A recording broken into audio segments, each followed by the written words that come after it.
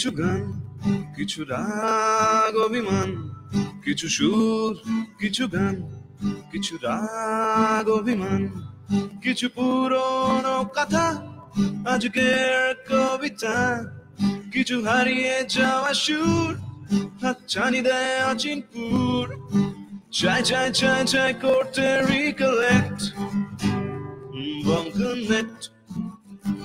Bong connect Bong connect Bong connect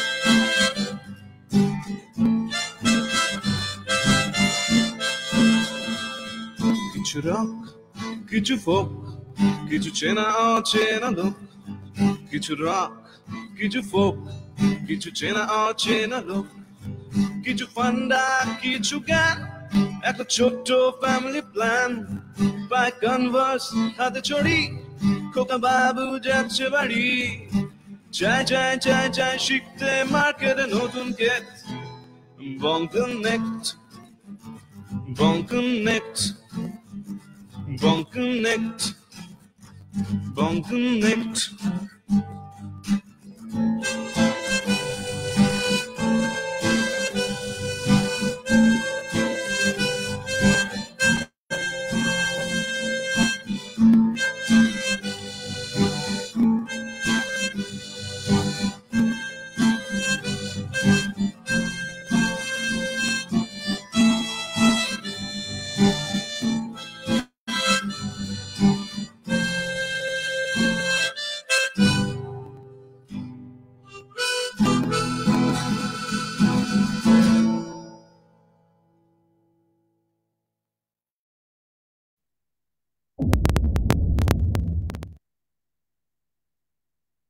ঘড়ির কাঁটার বাজে ঠিক নটা চার। আর কালকে যেরকম প্রমিস করেছিলাম যে আজকে নিয়ে আসব আপনাদের দুজন ভীষণ প্রিয় মানুষকে। এলাম তো প্রমিস রাখলাম তো। কেন রাখলাম জানেন? কারণ আপনারা আমাদেরকে এত ভালোবাসেন, বঙ্কনেটকে এত ভালোবাসেন, আমাদের অতিথিদের এতটা ভালোবাসেন। এই যে ভালোবাসাটা অদ্ভুত জিনিস, তাই না? আর ভালোবাসার সব থেকে সুন্দর জিনিসটা কি জানেন? যখন ভালোবাসা পরিণতি পায়। এমন দুটো মানুষ যাদের ভালোবাসা পরিণতি পেয়েছে খুব রিসেন্টলি দুজন খুব ভালোবাসার মানুষ, দুজন মানুষ যাকে আপনারা খুব ভালোবাসেন, যাদেরকে টিভির পর্দায় দেখে আপনারা খুব খুব খুব আনন্দ পান, মজা পান, তাদেরকে নিজের করে নেন। আর আজকে তাদেরকে চিনবো আরেকটু অন্যরকম করে। আজকে আমার সাথে আছেন দুজন খুব ভালো মানুষ এবং the very new power couple in town Rudrajit এবং প্রবিতা। হাই হ্যালো নমস্কার হ্যালো হ্যালো নমস্কার রুদ্রজিৎ এবং প্রবিতা। দুজনকেই বং কানেক্টে স্বাগত জানাই। প্রথমে কংগ্রাচুলেশন অনেক অনেক ভালোবাসা এবং শুভেচ্ছা তোমাদের দুজনকে। আহ তোমাদের একদম ভীষণ ইভেন্টফুল লাইফ এখন এখন প্রমিতা রুদ্রজিৎকে সারাক্ষণ দেখা যায় একসাথেই মানে একদম দ্য পাওয়ার কাপল তো কেমন লাগছে? এই যে নতুন একটা চেঞ্জ লাইফে কেমন লাগছে? সবার প্রথমে দেখো বিয়ের পর একটু সবারই একটু পরিবর্তন ব্যাপারটা আসে চেঞ্জ ব্যাপারটা আসে। আর সেটা লাইফে হোক কাজের জায়গাতে হোক কারণ একটা রেসপন্সিবিলিটি তোমার সঙ্গে অ্যাড হচ্ছে এক্সট্রা কারণ তুমি তোমার তোমার কাজটা যখন করছ সেটা যেমন একটা দায়িত্ব থাকে ঠিক বিয়ে তোমার লাইফে যখন কেউ একজন ভালোবাসার মানুষ আসে তো তখন কোথাও কি সেই দায়িত্বটা বাড়ে? কারণ ভালোবাসার সঙ্গে দায়িত্ববোধটা থাকা খুব দরকার। না হলে কোথাও গিয়ে হয়তো ঠিকভাবে হয়তো ছাড়া ছাড়া ব্যাপারটা থাকে। মানে কানেকশনের সঙ্গে ভালোবাসার সঙ্গে রেসপন্সিবিলিটি এই পুরো বিষয়গুলো দরকার। না হলে আমার মনে হয় যে কোথাও গিয়ে হয়তো একটু প্রবলেম হয়ে যায় তখন। তো সেই জন্য দায়িত্ববোধ যে এত ম্যাচিওর শুনতে লাগছে? মানে আমি আই অ্যাজিউম ও রিয়েল লাইফে এতটা ম্যাচিওর ও এত সুন্দর করে গুছিয়ে যে কথাটা বলল ও কি বিয়ের আগেও এরকম ছিল প্রবিতা নাকি বিয়ের পর এটা রিসেন্ট অ্যাডভান্সমেন্ট বিয়ের পরে মানে ফোরটিন ফেব্রুয়ারির পরে একটু বেশি মানে একটু চেঞ্জ লাগছে যদিও বেশি দিন হয়নি কম মাঝখানে হয়েছে একটু হ্যাঁ বেশি চেঞ্জ হ্যাঁ ওর মধ্যে বিষয়টা হচ্ছে আমি যখন কথাগুলো বলছিলাম না ও শুধু মন দিয়ে শুনছিল। আমি ভাবছিলাম আমি দেখলাম প্রমিতা হা করে খুব মুগ্ধ হয়ে তাকিয়ে দেখছে যাচ্ছে এটা কি ওর মুখ থেকে আসছে কথাগুলো? করবে এই হয়তো ইন্টারাপ্ট করবে বাট কিচ্ছু বলছে না। ও আমি জাস্ট দেখছ শুনে যাচ্ছে। আমি একটু ঘাবড়েও যাচ্ছিলাম এরা মাঝে মাঝে। শি ইজ ভেরি প্রাউড না না দেখো যেটা যখন ওর সঙ্গে প্রথম দেখা হয় সেটা তো হ্যাঁ। আহ, তিন বছর তার আগে আমার কথাটা কমপ্লিট করতে দাও। হ্যাঁ। সেটা হচ্ছে যে হ্যাঁ। দেখো এই যে তো এটা দরকার এই দায়িত্ববোধটা থাকা দরকার। কারণ বিয়ের পর শুধু আমারটা না আমার সঙ্গে সঙ্গে আমার ওয়াইফের বলো তো ওর ভালো বাসা বা ভালো লাগার ব্যাপারটা আমাকে দেখতে হবে। তো সবটা নিয়ে তো একটা তো রেসপন্সিবিলিটি তো বাড়েই আর আমি বলব যে যখন শুরুতে মানে তিন সাড়ে তিন বছর আগে যখন ওকে প্রথম দেখেছিলাম আর সেটার সঙ্গে এখন মানে অনেকটাই চেঞ্জ বলব মানে টোটালি চেঞ্জ কিন্তু সেই চেঞ্জটা হয়েছে। আর এই যে রেসপন্সিবিলিটি যে ব্যাপারটা মানে সত্যি এখন এটা ধরে নাও লাস্ট এক বছর আমি সেটা ফিল করেছি। মানে এই নয় যে শুধুমাত্র ফোরটিন্থ এর পরেই হয়ে গেছে। লাস্ট এক বছর সেটা আমি খুব ফিল করেছি। আহ, যদি লকডাউনে আমরা দূরে ছিলাম ফোনেই আমাদের কথা হতো কিন্তু তাও না ওর মধ্যে অনেক চেঞ্জ ফিল করতাম। তো সেটা রিজনও আরও বেশি যার জন্য ফোরটিনতে ফাইনালি প্রতি মুহূর্তে প্রত্যেকটা সময় চেঞ্জ হচ্ছে। তো আমার ক্ষেত্রে আর নতুনত্ব কি আছে বলো? অ্যাকচুয়ালি আমার সঙ্গে দেখা হওয়ার পরে ওর ভালোর দিকে চেঞ্জ হয়েছে। ভালো চেঞ্জ হয়েছে। যে রেসপন্স তো মানে একটা একটা ভালো সম্পর্কে সব থেকে সুন্দর জিনিস সেটাই যে দুজনেই ইভলভ করেন এবং দুজনেই ভালোর দিকে ইভলভ করেন। এবং প্রমিতা রুদ্রজিৎ একসাথে খুব সুন্দরভাবে ইভলভ করেছে সেটা আমি বুঝতে পারছি। কিন্তু ধরো আমি তোমাদের দুজনকে চিনি না মানে হয়তো অনেকে আজকে ধরে ধরে নি আমরা এজিউম করি যে এই লাইভটা যারা দেখছেন তাদের মধ্যে কেউ হয়তো তোমাদের দুজনকে প্রথমবার দেখছেন। তাহলে প্রমিতা এবং রুদ্রজিৎ তোমার নিজেরা যদি নিজেদেরকে কিছু কথায় ডিফাইন করতে পারো যে প্রমিতা বা রুদ্রজিৎ কে? কীরকম মানুষ? আমি আগে রুদ্রজিতের থেকে শুনব।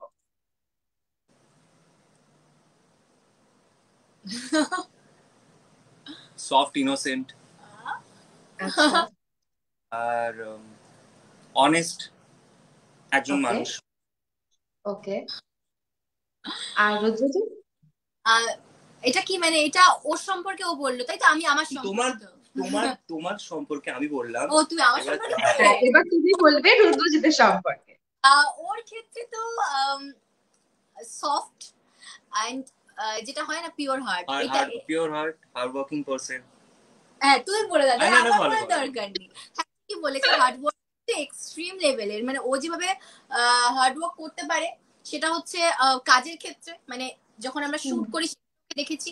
এবং এখন পার্সোনাল বলি সবটা দায়িত্ব সামলানো মানে টায়ার্ড না হয়ে পড়া বিরক্ত না হয়ে যাওয়া এগুলোর মধ্যে প্রচণ্ড আছে।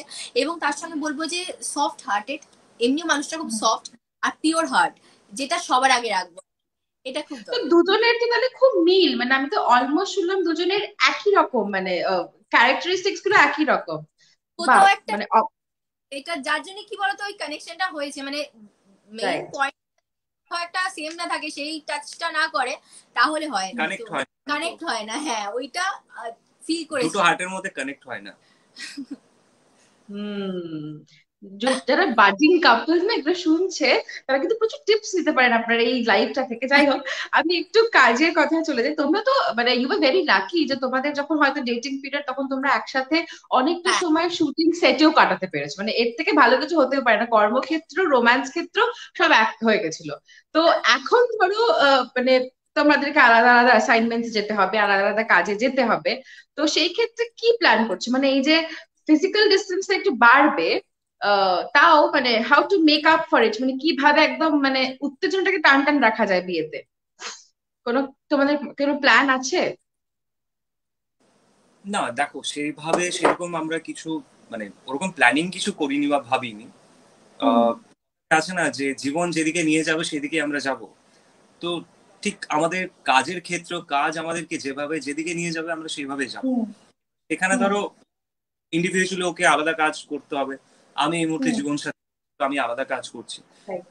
ইন ফিউচার কাজটা আলাদা লাইফ আর কি হ্যাঁ ইন ফিউচার যদি ফরচুনেটলি আমাদের দুজনে একসঙ্গে কাজ করার সৌভাগ্য হয় তাহলে তো খুবই আর যদি না হয় তাহলে দেখো কাজের জায়গাতে কাজ করব আমি আমার জায়গাতে কাজ। করব তারপর যখন প্যাক আপ হয়ে যাবে ফাইনালি আবার দুজনের দেখা হবে তো। এটা তো দেখো আমরা এই প্রফেশনে আছি তাই সমস্ত মানুষেরাই কাজ করছে তো কাজটা একটা ডিফারেন্ট ডে করতে হয় ওয়ার্ক আমাদের। বাদ বাকি যেরকম পার্সোনাল লাইফ সেরকম তো বাহ! তাহলে এবার একটু কাজের কথায় চলে যাই। আমি ঠিক যে সিরিয়ালটার কথা বলছিলাম যে, সাত ভাই, চম্পা এবং যেখানে মানুষের অসম্ভব ভালোবাসা তোমরা পাও মানে রাঘব এবং পারুল।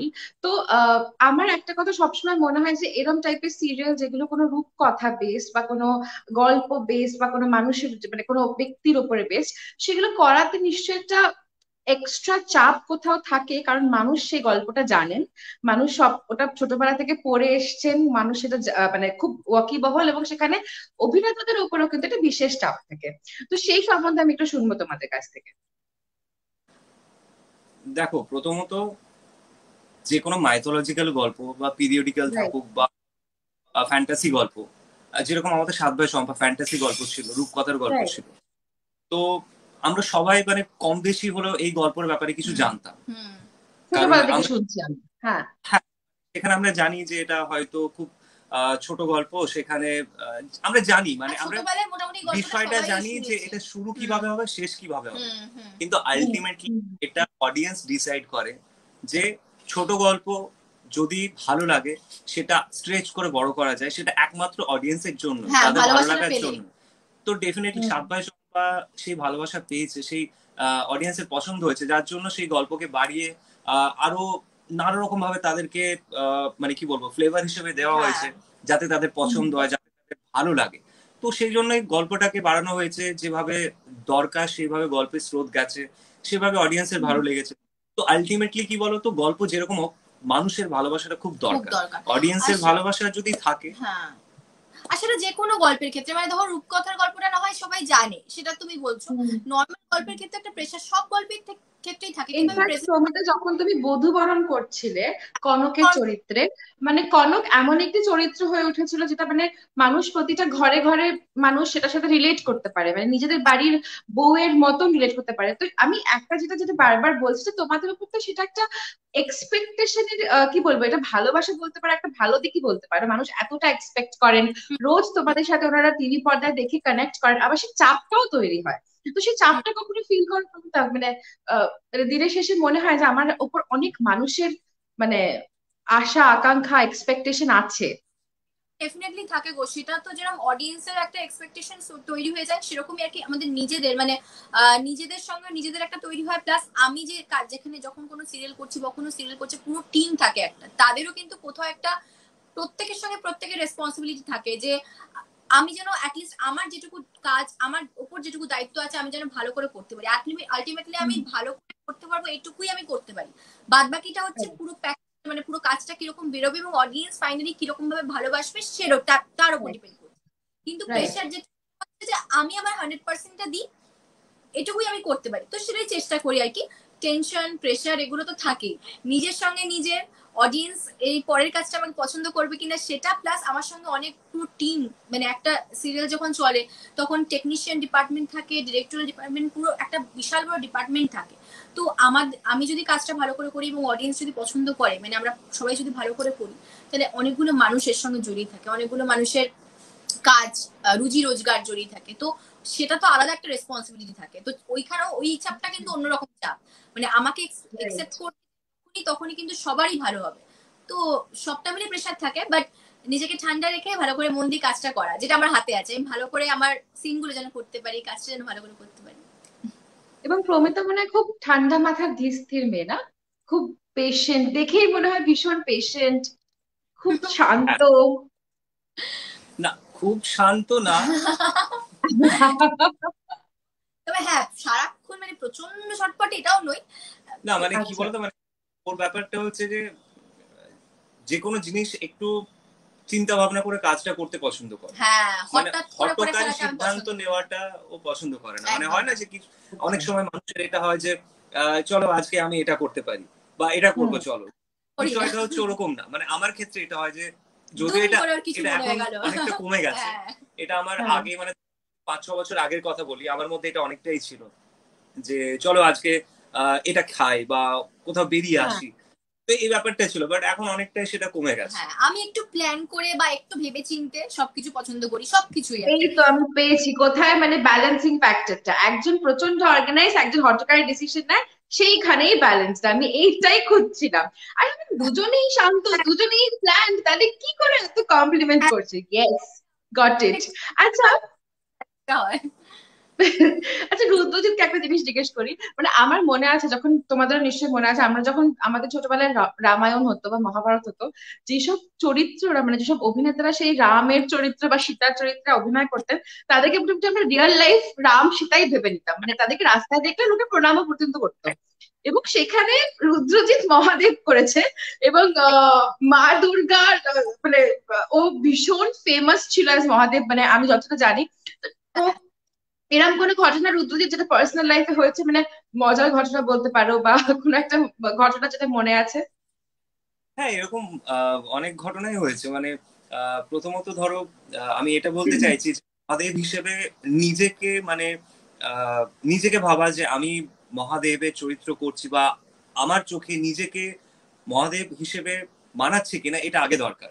কারণ আমি যদি নিজের কাছে নিজেকে ঠিক করে না দেখতে পারি বা আমি যদি কি বলব? মানে মানে আমি যদি নিজেকেই ফিল না করি যে আমি মহাদেব তাহলে হয়তো আমি চরিত্রটা ঠিকভাবে প্লে করতে পারব না। তো সেটা সবার আগে দরকার।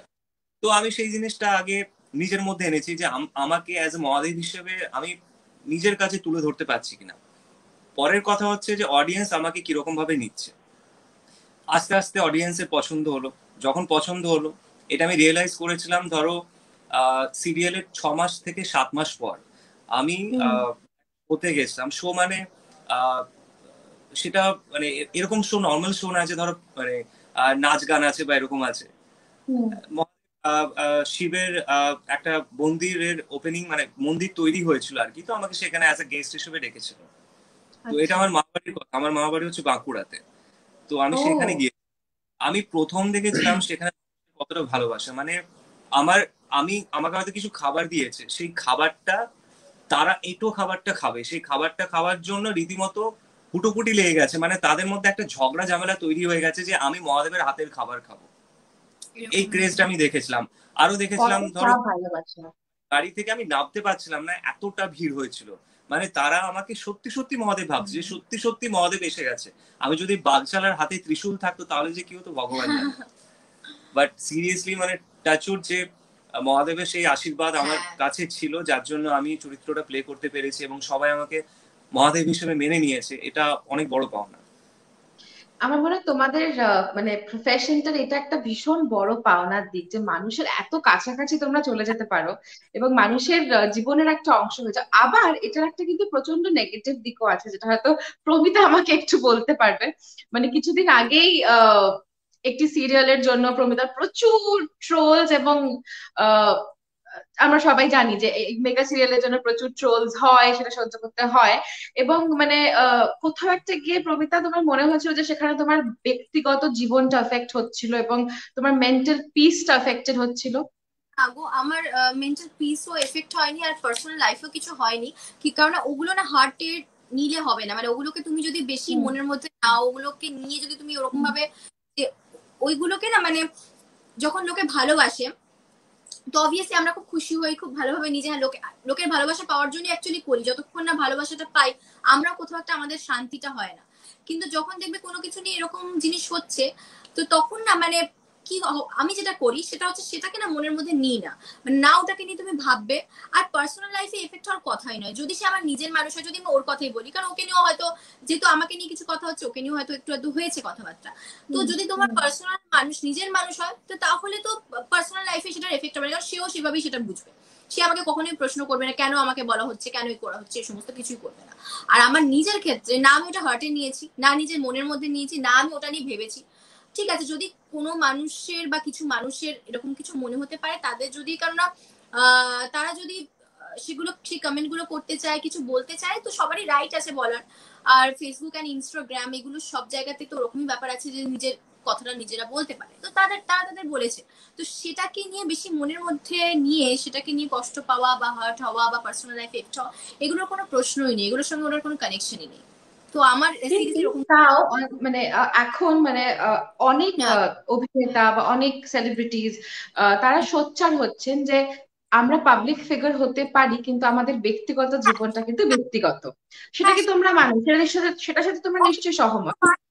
পারি কিন্তু সেটা তো বলতে পারি আমরা বড়জোর কিন্তু এখন সেরকম কিছু রুলস হয়নি সেরকম কিছু হয়নি।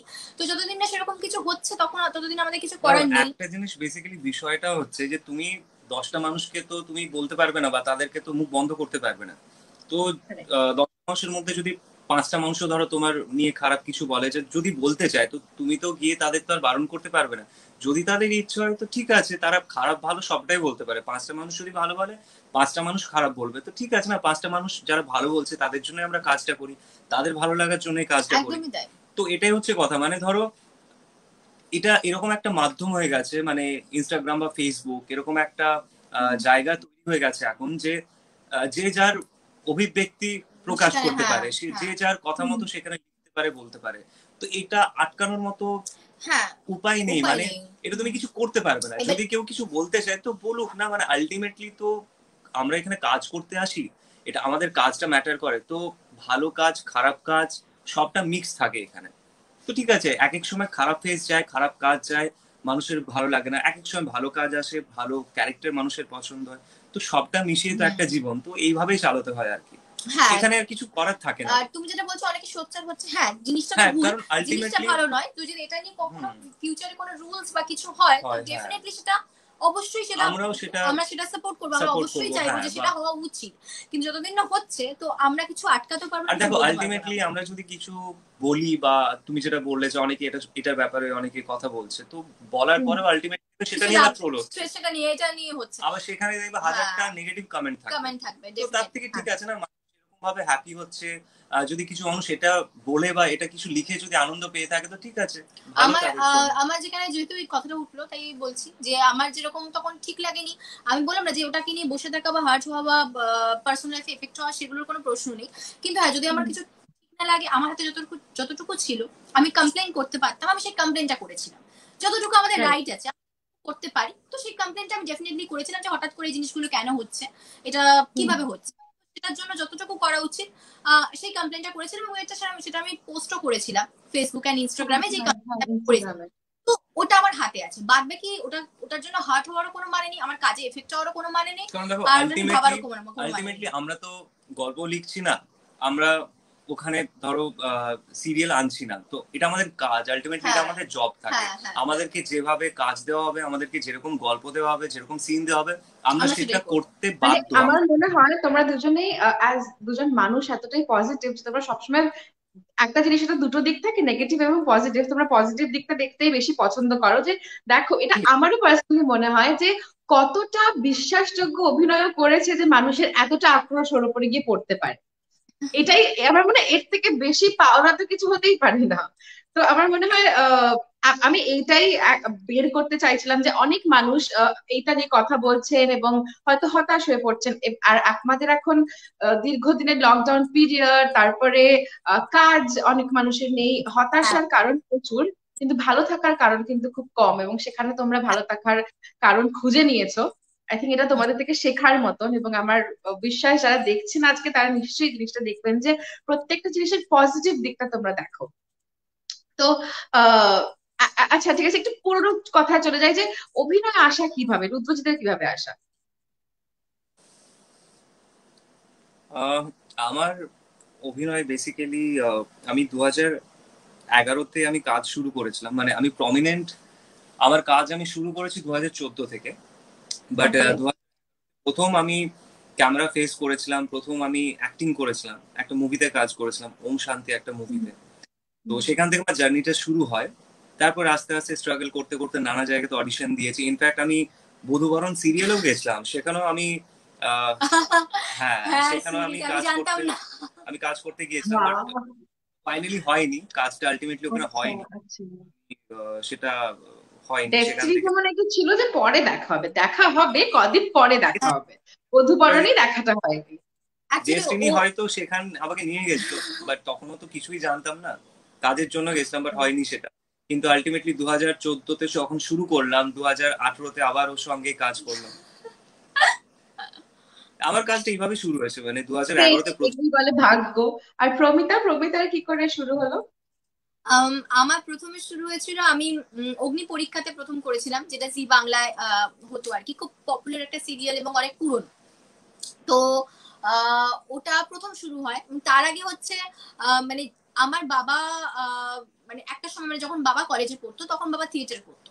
তো সেই জন্য আচ্ছা। কোথাও বাবার কাছে এই অভিনয়ের গল্প টল্প এরকম শুনেছিলাম। ওই পরিবেশটা ছিল। পরিবেশটা কিছুটা ছিল কারণ আমাদের মন্দির বাড়ি সেখানেও ওই হয় না দিনের বাড়িতে থিয়েটার হতো বাড়িতে। তো আমাদের বাড়িতে ওরকম ধরো পাড়ার সবাই তখনকার দিনে অন্যরকম ছিল এখন সেগুলো নেই আর। পাড়াতে সবাই মিলে থিয়েটার করা তো আমাদের বাড়িতে সেগুলো সমস্ত অর্গানাইজ করা হতো। বাবা কলেজের টাইমে থিয়েটার করতেন। তারপরে বাবা কাজের মধ্যে ঢুকে যায় ওগুলো হয়নি। তো বাবা মাঝে মাঝে আমাকে গল্প করতেন যে এরকম হতো এরকম হতো। তো একদিন হঠাৎ করে লাকি সেটা তো অবভিয়াসলি হ্যাঁ সেটা অবশ্যই। তো একটা জিনিস আছে আমি সেগুলো দেখতে পাইনি। বাবার মুখে সব গল্প শোনা।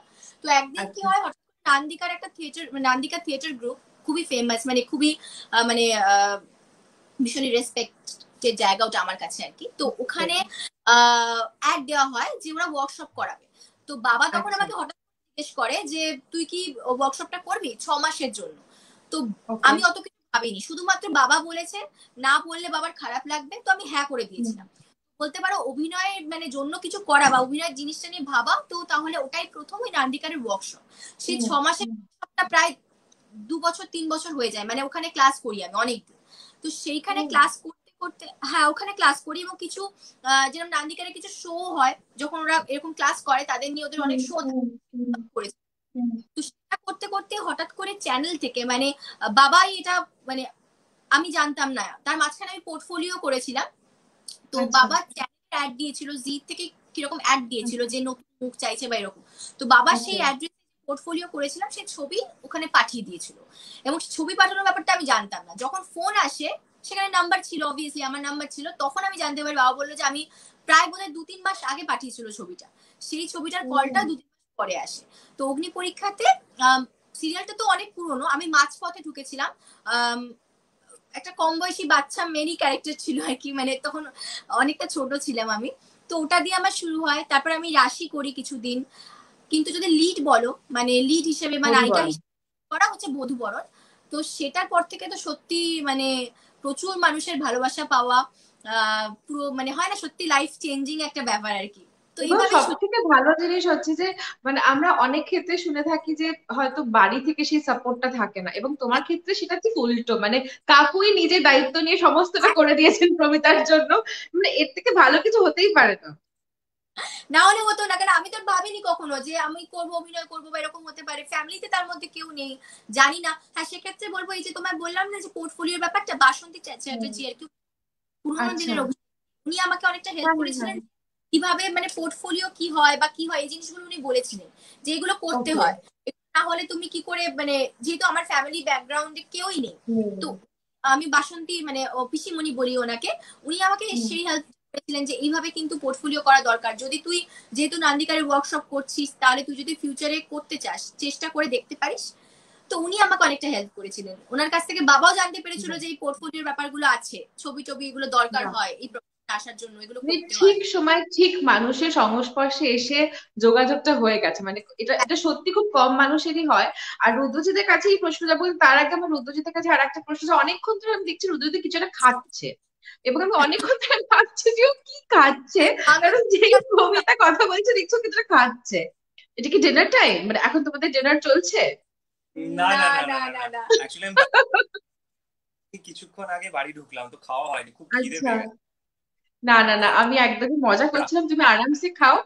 কেউ লোভ দিচ্ছে না কেউ আমরা লোভ দেবো না তুমি খেতে পারো এবং গল্প করতে পারো দুটোই একসাথে চলতে পারে। কাঁকড়া খাকড়া খাকড়া। অ্যাকচুয়ালি এটা আমার খুব ফেভারিট হুম। এই আমারও খুব ভালো লাগে একটা প্যাকেট খাকড়া পাওয়া যায় আমার আমার মনে হয় ভীষণ ভালো খেতে ওটা। বাহ ঠিক আছে দেখা করে একদিন খাকড়া খাওয়া যাবে কিন্তু তার আগে আপাতত গল্পটা সেরে নি। তো রুদ্রজিতের বাড়ি থেকেও কি প্রচুর মানে এরকম বাবা মা ভীষণ সাপোর্টিভ ছিলেন নাকি মানে কোন রকম মানে বাধা পেয়েছ? পুরো বিষয়টা মানে আমার ক্যারিয়ার বলতে পারো যে ক্যারিয়ারটা আমার তৈরি হয়েছে একমাত্র বাবার জন্য। কারণ আমি যেহেতু আমার বাড়ি পুরুলিয়াতে আমার আচ্ছা।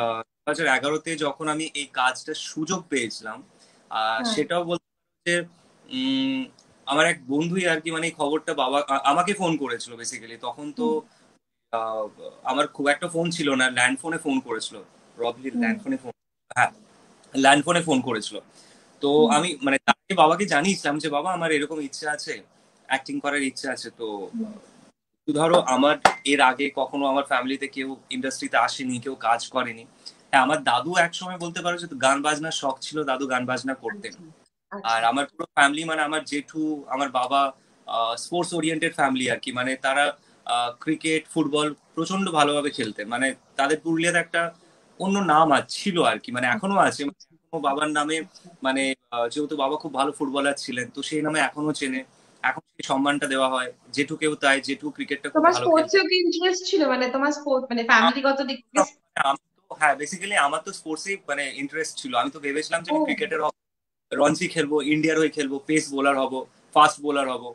তো আমি সেইভাবেই আর কি মানে নিজেকে তৈরি করছিলাম ছোট থেকে। ক্রিকেট ক্যাম্পে গেছিলাম ওখানে জোনাল ক্যাম্প হয়েছিল তারপর সেখান থেকে আমি ডিস্ট্রিক্ট লেভেলে খেলতে গেছিলাম। তো কখনোই ভাবিনি যে এই প্রফেশনে আমি আসব মানে আমি আন্ডার এর হয়ে আমি ডিস্ট্রিক্টে খেলতে গেছিলাম। সেটা হয়েছিল সম্ভবত শিলিগুড়ি না কোথায় হয়েছিল তো আমি সেখানে খেলতে গেছিলাম। আচ্ছা, তো আচ্ছা। মানে এই ভেবেছিলাম যে হয়তো ভবিষ্যতে আমি ক্রিকেটটাই খেলব। ক্রিকেটটাই হয়তো আমার প্রফেশন হবে। কিন্তু একটা পয়েন্টের পর মানে একটা টাইমের পর কোথাও গিয়ে আমি নিজে রিয়েলাইজ করলাম যে বলে না যে it's not my cup of tea মানে এটা আমার জন্য না। আমি হয়তো এটা হয়তো আমি সারা জীবন মানে এটা এটাকে নিয়ে আমি হয়তো প্রফেশন করতে পারব না। হয়তো তো তারপর ধরো যেহেতু আমার একটা ইন্টারেস্ট আমার ছিল মানে আমি ক্লাস ফাইভে যখন পড়তাম তো তখন আমি আমাদের যে একাডেমি ছিল ক্লাস ফাইভের একাডেমির নাম হচ্ছে তোমার ব্রিলিয়ান্ট একাডেমি সেই একাডেমির নাম। তো আমি একটা নাটক করেছিলাম অমল ও দইওয়ালা আচ্ছা। তো প্রথম বলতে পারো যে আমার অভিনয় এখানে আমার শুরু হয়। আচ্ছা।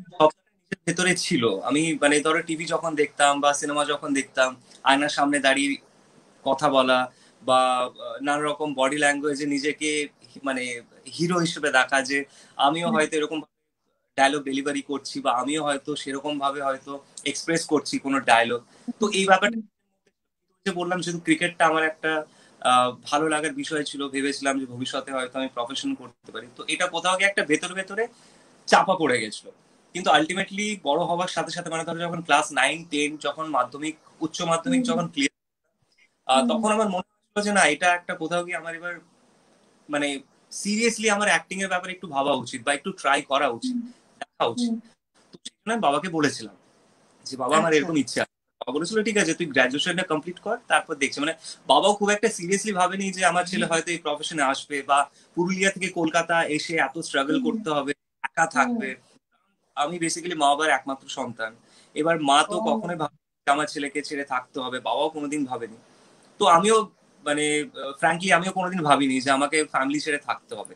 আর যেহেতু আমাদের জয়েন্ট ফ্যামিলি তো কোনোদিন ভাবিনি যে আমাকে একা এসে বাইরে একা এসে থাকতে হবে। তো তারপর ধরো উচ্চ মাধ্যমিকের পর একটা ফোন আসে যে এরকম শতাব্দী রয়ের মুভি ওটা ছিল দু হাজার এগারোতে ওম শান্তি। তো শতাব্দী রয় নতুন মুখ খুঁজছেন তো আমাকে বলেছিল, তুই চাইলে একবার ট্রাই করতে পারিস। তো আমি তখনই বাবাকে বলেছিলাম। এবার বাবার যেহেতু ধরো, বাবার বললাম না যে বাবারও একটা যেহেতু বাবাকে আগে বলেছিলাম আর বাবারও মানে ইচ্ছে ছিল যে আমার ছেলে যদি পসিবল হয় তো হয়তো কিছু হতেও পারে। তো আমার বাবা মানে সেই মানে কি বলব মানে সাপোর্টটা করেছিল। তো বাবা শোনার সাথে সাথে আমাকে কলকাতার কান্ট্রি ক্লাবে নিয়ে আসে। আর শুধু আমার বাবা আসে না বাবার সাথে জেঠু দাদা দিদি আহ, কাকু আহ, মেশো মানে ধরো সাত আট জনের পুরো একটা টিম আমার সঙ্গে। মানে ক্রিকেট টিম বলতে পারো। আরও ক্রিকেট আমাকে ছাড়তে আসে ফ্যামিলি ভাগ্য করে পাওয়া যায় সত্যি বলছি মানে এত সাপোর্টিভ একদমই তাই ছাড়তে আসে অডিশনের জন্য আসে। কিন্তু প্রথম অডিশন আমি রিজেক্ট হয়ে গেছিলাম। প্রথমত আমার যেহেতু একটা ভাষার প্রবলেম ছিল পুরুলিয়াতে আমার যেহেতু মাতৃভাষা অন্যরকম যেহেতু আমার টোনটা অন্যরকম ছিল। আর কোথাও কি তখন তো আমি বললাম না তোমাকে যে আমি তো ওরকম ভাবে কোথাও শিখিনি বা ধরো কোনো থিয়েটারও করিনি বা অ্যাক্টিং এর কোনো ক্লাস করিনি। তো সমস্যা হয়েছিল কিন্তু শতাব্দী রয় উনি আমাকে বলেন যে আহ, না তুমি চেষ্টা করো হয়ে যাবে কোনো অসুবিধা নেই এখানে ডান্স আছে এখানে অ্যাকশন আছে তুমি করতে পারবে তো। তো আমি সব কথাতে হ্যাঁ হ্যাঁ করেছিলাম। তো সেখান থেকে আমার জার্নি শুরু হয়। এবার ধরো আস্তে আস্তে এই যে এগারোর পর বারো তেরো চোদ্দ মানে চোদ্দোর দু হাজার চোদ্দোর ডিসেম্বরের পনেরো তারিখ থেকে মা দুর্গা শুরু হয়েছিল। কিন্তু যে মাঝের টাইমটা এটা যে কীভাবে আমি সার্ভাইভ করেছি একমাত্র আমি জানি আর আমার বাবা জানে।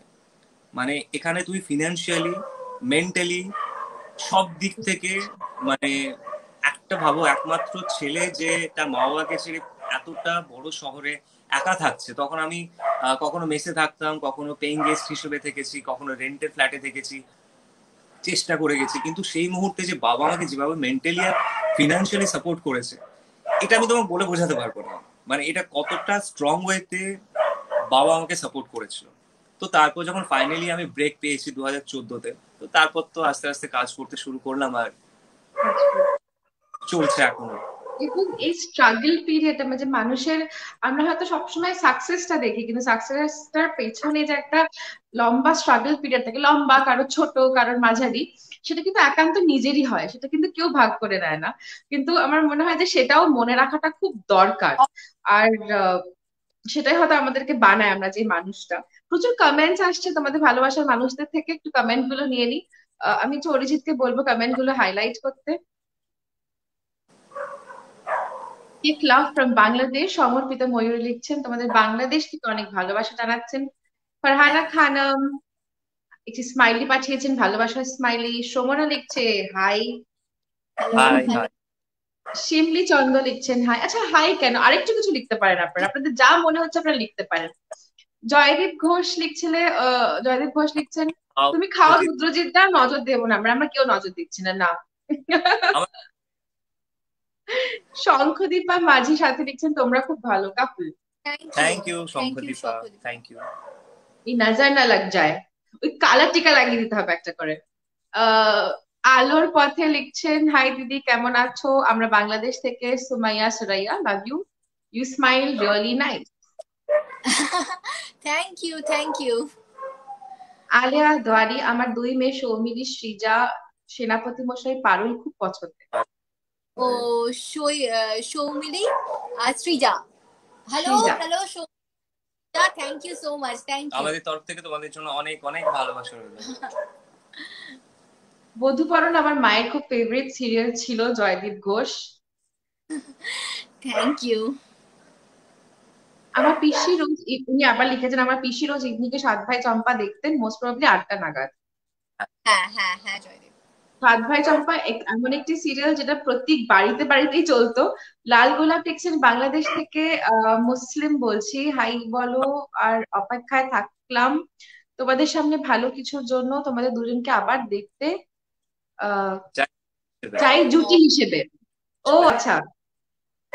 কোন প্ল্যান কি পরিকল্পনা কীরকম চলছে আবার জুটি হিসেবে ফিরে আসার? লোকে জানতে চাইছে। আপাতত কোনো প্ল্যান নেই। হাতেও থাকে না। একদমই হাতে থাকে না। মানে হলে তো আমরা সেরকম সবাই মানে খুব ভালো লাগে।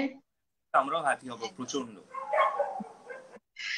তোমাদের আমার খুব ভালো লাগে। ভালো থেকো দুজনে একসাথে। প্রচুর কমেন্টস এবং অরিন্দম ভট্টাচার্য লিখছেন রুদ্রজিৎ দা আমি তোমার খুব বড় ফ্যান ফ্যান ফ্রম আসাম ও। Thank you. লিখছেন sorry to say but I can't really take my eyes off from you love Somnath thank you thank you Payel thank you Payel di Roy thank you thank you so much এসব আমি দেখলে ভীষণ লজ্জা পেয়ে যাই। এখন comments বন্ধ আমরা বরং গল্প করি। আচ্ছা এই তো হ্যাঁ রুদ্রর ব্যাপারে এসছে। আই লাভ ইউ রুদ্র দাও প্লিজ রিপ্লাই দাও। কি রিপ্লাই দেবে? তুমি লাভ ইউ টু বলে দাও। আচ্ছা আমরা আবার একটু গল্পে ফিরে যাই। এত মানুষের ভালোবাসা মানে তোমরা পাও। It is something so overwhelming না? মানে প্রতিদিন এটা নতুন করে উপলব্ধি আমার মনে হয় তোমরা করতে পারো। আচ্ছা সিরিয়ালটা তো সিরিয়াল জগৎটাতে তো মোটামুটি তোমরা একটা ফার্ম গ্রাউন্ড বানিয়ে নিয়েছো দুজনে টাচফুট এবং আশা করি মানে আগামী দিনে আরও আরও অনেক প্রাপ্তি হবে তোমাদের সেখান থেকে। বড় পর্দা নিয়ে কোনো পরিকল্পনা? পরিকল্পনা দেখো ওই যে বললাম তোমাকে মানে পরিকল্পনা কোনো কিছুরই পরিকল্পনা কিছু করি না। মানে যেরকম ভাবে যেটা আসবে আমরা সেটা একসেপ্ট করব। কারণ ধরো আমরা কাজ যখন শুরু করেছিলাম তখনও কিছু ভাবিনি যে কখন থেকে কাজ শুরু হবে। ফাইনালি কাজ করতে করতে ভালো কাজ খারাপ কাজ সবটা মিশিয়ে আমরা এই জায়গাতে দাঁড়িয়ে। এরপর যদি ভবিষ্যতে ওয়েব সিরিজের অফার আসে বা ধরো বড় পর্দার অফার আসে তো ডেফিনেটলি করব। মানে সেরকম কোনো পরিকল্পনা করিনি। যদি যেরকম ভাবে হবে সেভাবেই করব। একদমই তাই। ভালো কাজটা করাটা খুব দরকার কাজ করে যাওয়াটা খুব ইম্পর্টেন্ট তো যেরকম আসবে সেটা যদি সিরিয়াল হয় তো সিরিয়াল ঠিক আছে। কারণ সিরিয়াল থেকে আজকে আমরা দুজনে এই জায়গাতে। আবার যদি সেটা ওয়েব সিরিজ হয় তো সেটা অবশ্যই সবাই তো করতে চায় আমরাও সেটাই চাই যদি সেটা হয় তো তোমার দুজনে নিশ্চয়ই মানে সিনেমা দেখো প্রচুর সিনেমা তোমাদেরকে দেখতে হয় কাজের ক্ষেত্রে দেখতে এবং দেখতে ভালোবাসো তো আমি যদি জিজ্ঞেস করি রুদ্রজিৎকে এবং প্রমিতাকে এমন একটা সিনেমা যেটা দেখে তোমাদের মনে হচ্ছিল মানে আলাদা আলাদা করে বলো যে এই রোলটা আমি করতে পারলে আমার খুব ভালো লাগতো। রুদ্রজিৎ এরকম কিছু?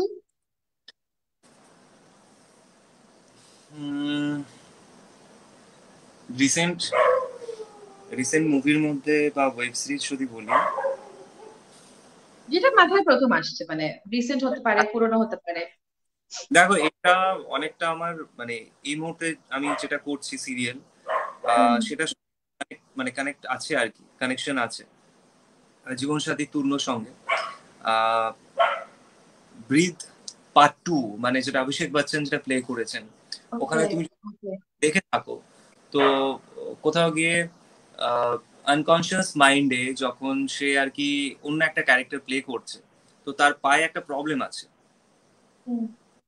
তো সেই যে ব্যাপারটা আমি আমার তূর্ণ যখন ঠিক ফিরে আসে তো তূর্ণ ফিরে আসার পর ব্রাচার ইউজ করে না কিন্তু পায়ে একটা সমস্যা থাকে। তো আমি সেই রকম ভাবে আর কি ক্যারি করার চেষ্টা করছি।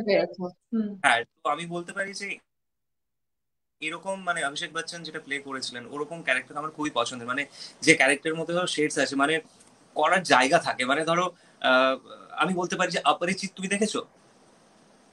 আরেকবার বলো কোনটা? অপরিচিত। অপরিচিত? অপরিচিত। অপরিচিত না আমার অপরিচিত দেখা হয়নি। তুমি যদি দেখো মানে এটা হচ্ছে আমি নাইনটিজ এর কথা বলছি অপরিচিত যে মুভিটা সাউথের তো সেখানে আচ্ছা। দেখবে উনি অনেক উনি তিনটে ক্যারেক্টার প্লে করেছিলেন। একটা মানুষ তিনটে ক্যারেক্টার প্লে করেছে। তো হ্যাঁ তিনটে সত্তা কাজ করেছে। তো আমি মানে আমার আচ্ছা। এরকম চরিত্র প্লে করতে খুবই ভালো লাগে। মানে যেখানে ধরো এমন একটি চরিত্র যেখানে প্রচুর ডাইনামিক চরিত্র প্রচুর শেড থাকবে এবং করার অনেক জায়গা থাকবে। হ্যাঁ আর প্রবিতা? আমার যেটা দেখো আমার ওরকম ভাবে কিছু নেই যে এটা করতে খুব ইচ্ছে করেছে। কিন্তু আমার যেটা খুব ভালো এরকম ধরনের ক্যারেক্টার হলেও আমার খুব ভালো লাগে। সেটা হচ্ছে ডিয়ার জিন্দেগিতে আলিয়া ভাট যে ক্যারেক্টারটা করেছিল কায়রা তো ওই মুভিটা আমি প্রচুর এমনিও দেখি। ওই মুভিটা দিলে আর আমাকে আমার দেখি। কিন্তু ওখানে খুব ন্যাচারাল খুব চেয়ার থেরাপি জীবনে অ্যাপ্লাই করো কি? চেয়ার থেরাপিটা কি জীবনে অ্যাপ্লাই করো? একটা চেয়ারই ঠিক হয়ে গেছে। পছন্দ করে একটা চেয়ারে বিয়ে। তো সেই জন্য ওটা বলছি না মানে মানে খুব ন্যাচারাল স্টোরিটা ওটার মধ্যে কোনো বাড়াবাড়ি নেই। অথচ মানে সব সবটা লাইফের সঙ্গে ম্যাচ করে না। কিন্তু কিছু কিছু জিনিস খুব সহজে দেখানো হয়েছে। ওর ক্যারেক্টারটার মধ্যেও না মনে হয়নি যেন ওকে খুব চাপানো হয়েছে। ক্যারেক্টার খুব ফ্রি মানে আর যখন করছেও ক্যারেক্টারটা তখনও এত ভালো লেগেছে। তো এরকম ধরনের যে ক্যারেক্টারগুলো হয় তো এরকম আমার খুব ভালো লাগে আর কি। করতে পারলে খুব ভালো হবে। ন্যাচারাল ন্যাচারাল ওয়েতে যেরকম ভাবে তোমার ক্যারেক্টারটা এস্টাবলিশ করা। যেটা ন্যাচারালি আসে। আমি একদম মানে আমার বেস্ট উইশেস এবং আমাদের সবার খুব তাড়াতাড়ি তোমরা মনের মতন চরিত্র করতে পারো এবং আমার মনে হয় যে অভিনেতাদের জীবনে সেটা সব থেকে বড় সার্থকতা সুন্দর চরিত্র এবং যে চরিত্র মানুষ সারা জীবন মনে থাক, মনে রাখবে মানে কিছু কিছু চরিত্র তো আছে যেগুলো আমরা সারা জীবন মনে রাখি, কত চরিত্র এরকম আছে? তো তোমরা দুজনে এরকম চরিত্র পাও জীবনে যেগুলো সারা জীবন সবাই আমরা মনে রাখি। অলরেডি পারুল রাঘব বা মহাদেব বা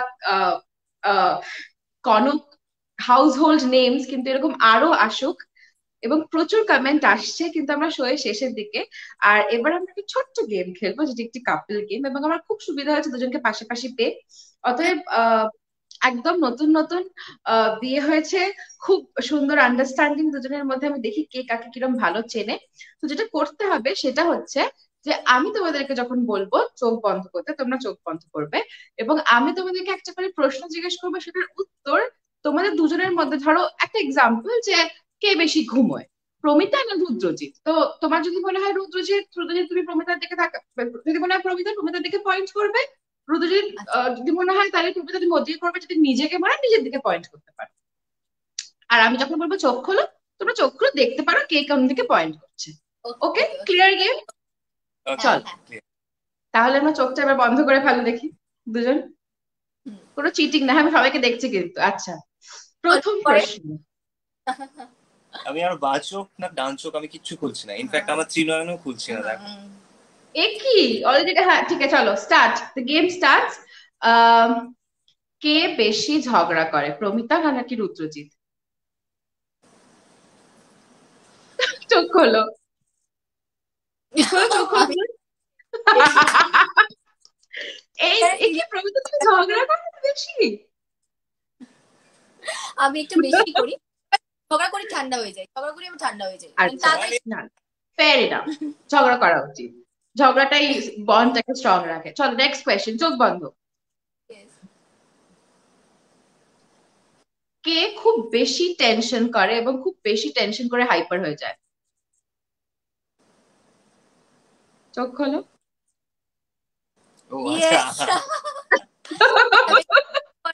ওকে বলি একটু রিল্যাক্স একটু কুল থাকো না হাইপার হাইপার হয়ে যায় না হাইপার হয় না কিন্তু টেনশনটা করি। ওকে দেখ আমি শুধু দেখছি যে দুজনের চয়েসেসগুলো এক হচ্ছে কিনা। আমার দেখার মাকসাদ সেটাই। চলো থার্ড প্রশ্ন চোখ বন্ধ। কে প্রথম প্রেমে পড়েছিল? চোখ খোলো।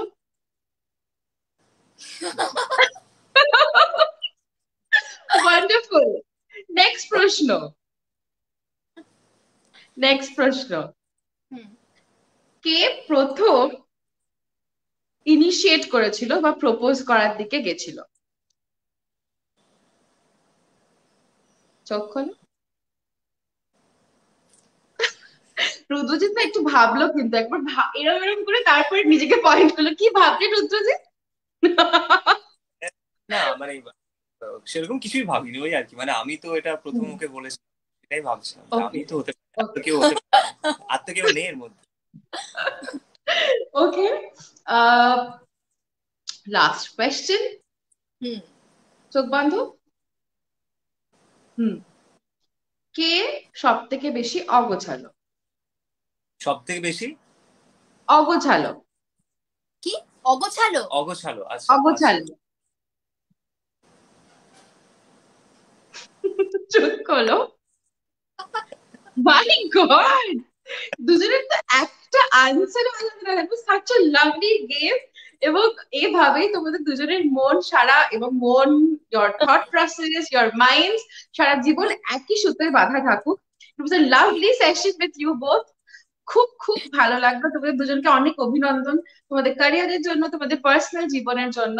এবং আমরা সময়ের একদম শেষের দিকে চলে এসেছি। হচ্ছে আস্তে আস্তে।